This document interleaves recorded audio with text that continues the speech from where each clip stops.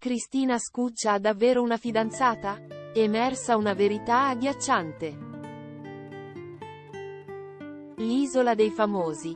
La naufraga è fidanzata con una donna? Spunta un clamoroso retroscena.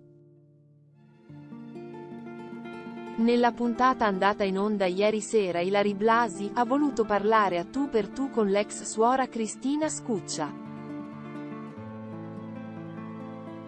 Ed in questa occasione la conduttrice ed i suoi due opinionisti le hanno fatto qualche domanda sul suo privato, non ottenendo però le risposte sperate.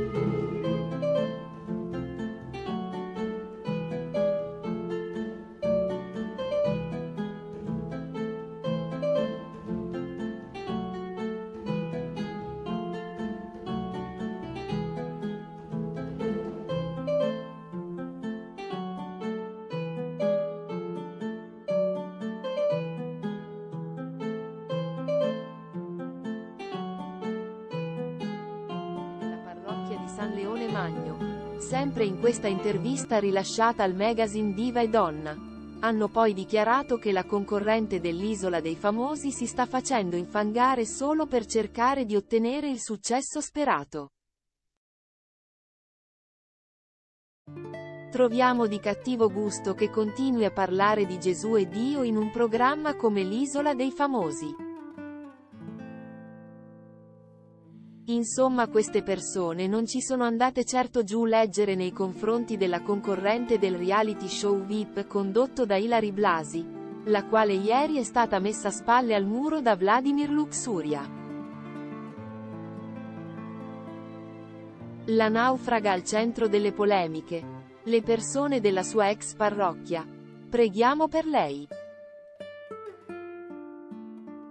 Queste persone della parrocchia di San Leone Magno hanno poi concluso l'intervento sull'ultimo numero del magazine Diva e Donna uscito giusto oggi in tutte le edicole asserendo che pregheranno molto per l'ex suora Cristina Scuccia, nella speranza che questa esperienza all'Isola dei Famosi possa portarle fortuna e successo. Non ci resta che pregare per lei e sperare che le vada davvero tutto bene. Insomma questa sua partecipazione al reality show VIP condotto da Ilari Blasi al momento le ha portato più di qualche grattacapo. Tuttavia la naufraga ha sempre continuato ad affrontare questa avventura con il sorriso sulla bocca senza cedere alle varie provocazioni. Si segnala che l'ex suora è anche finita in nomination questa settimana.